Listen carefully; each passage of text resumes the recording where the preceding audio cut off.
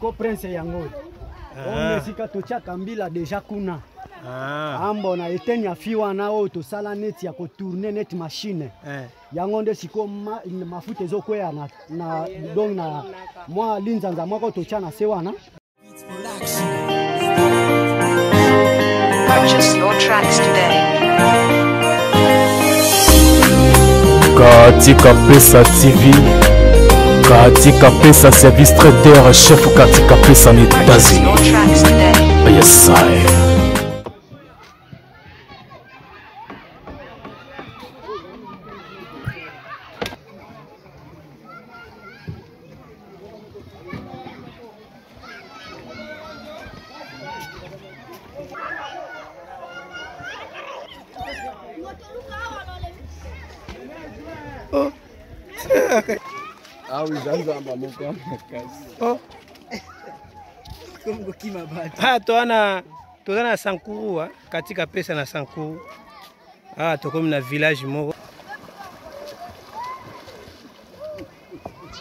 tokende otala eh, mafuta mbila mafuta mbila basalaka ndenge na, na sankuru ah bocomprendre eh? to village donc eh, bomonaka bandako te bana poto bana états-unis katika pesa yeah.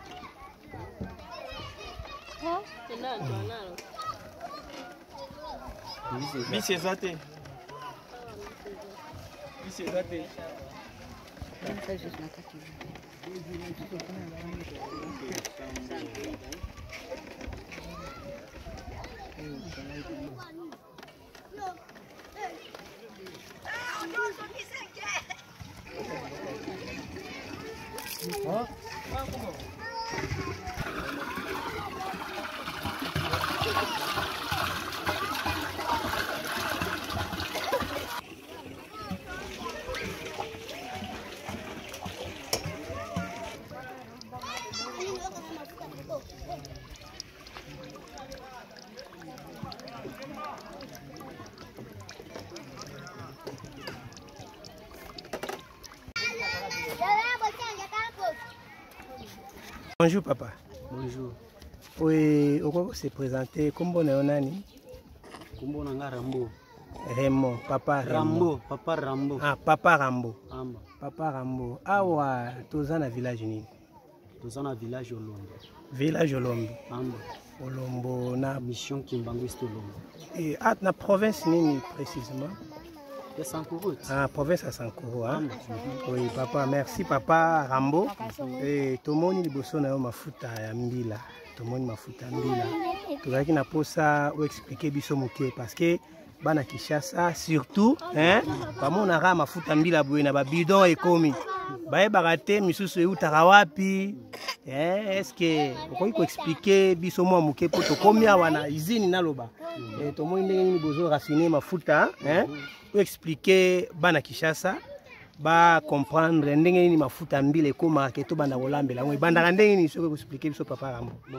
ça va merci mingi mm. wana eza motuna nalingi na répondre yo okay. ndenge toyaka komona ka déjà mafuta ekomi mm.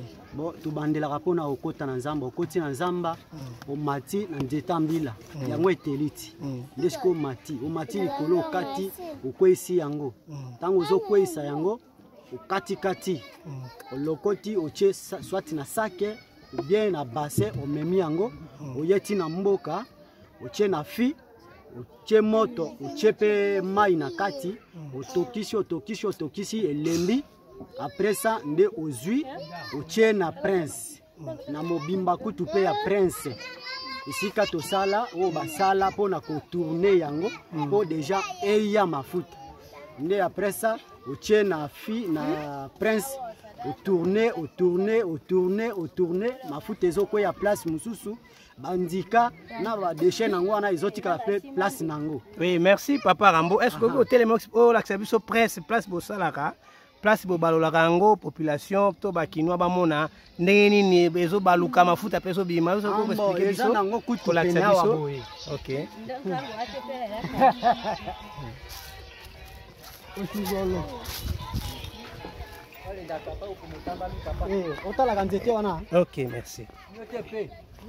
ko prince yango ah. oyo esika totyaka mbila deja kuna ah. ambo na eteni ya fi wana oyo tosala neti ya kotourne neti mashine eh. yango nde sikoyo ma, mafuta ezokweya na, na, donc na mwa linzanza moko totya na se wana eh. nde mafuta mobimba mafuta ezokweya wana ezoleka ti na tio wana ezokwea na so nde toye kotya na babidon ah, seke oyo eza fi mobimba wana eza eteni ya fi nde tokata ah, eza eteni eza mobimba te eza mobimba kutu te ah. ambo wana deja oyo tozolongola na mai nde soki tozotya boye oyo deja esilisi donc esilaki koleka wana ya liboso eh. nde sikoyo totyaka na babido mbala moko après ça soki euti kuna eyaka kutu ya propre ka yango moko sec Mm. Bon, sikoyo toye kotya lisusu mai ntango tozotya mai tosokoli wana kaka na mobimba prince wana tosokoli tosokoli totye mai mm. apres sa mafuta mpe eye emati mm. etelemi likolo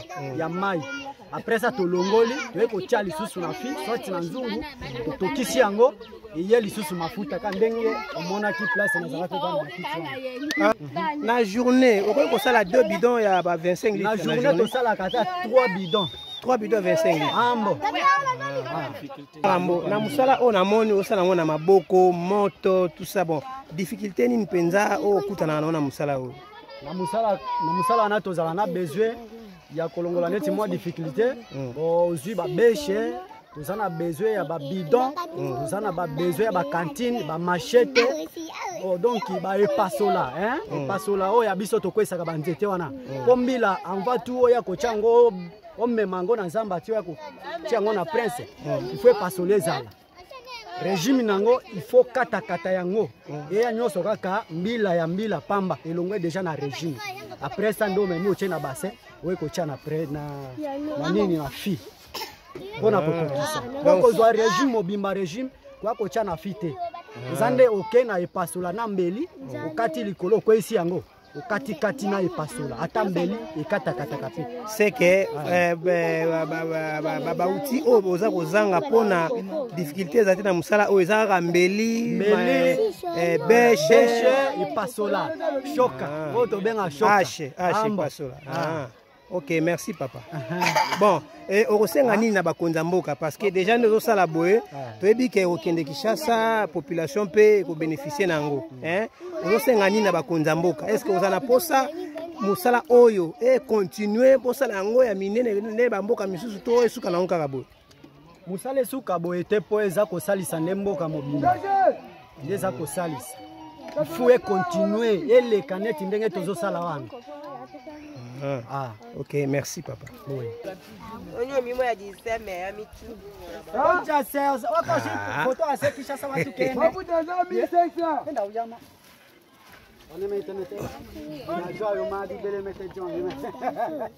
Ah oui, service traiteur international avec Cathy Kapessa Aigle. Toujours, la solution est là. Cathy Kapessa, toujours à votre service. Qualité supérieure des recettes et repas africains, restaurants et catering. Mokonzi ya kolamba kitoko na États-Unis d'Amérique. Cathy Kapessa Aigle toujours service traité à qualité tokos pour toutes vos réservations contactez maman katika pesa pour vos cérémonies réceptions manifestations vos fêtes de mariage vos fêtes d'anniversaire graduation barbecue événements, même les conférences. Service traiteur, Cathy Capessa. Toujours à votre service. Qualité supérieure des recettes et repas. sousou c'est local.